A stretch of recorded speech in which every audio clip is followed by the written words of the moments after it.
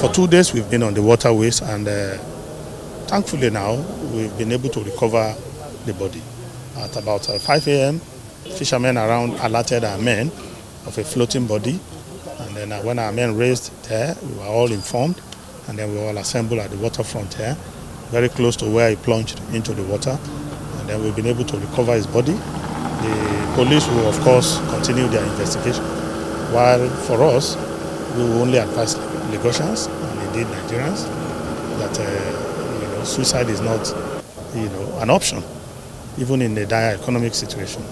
It's not an option. On seeing the body, we've done um, all what is necessary to be able to uh, make sure that the body was um, evacuated appropriately and then handed over to Marine Police, who is continuing, and Mar- Police Station, who is continuing the investigation.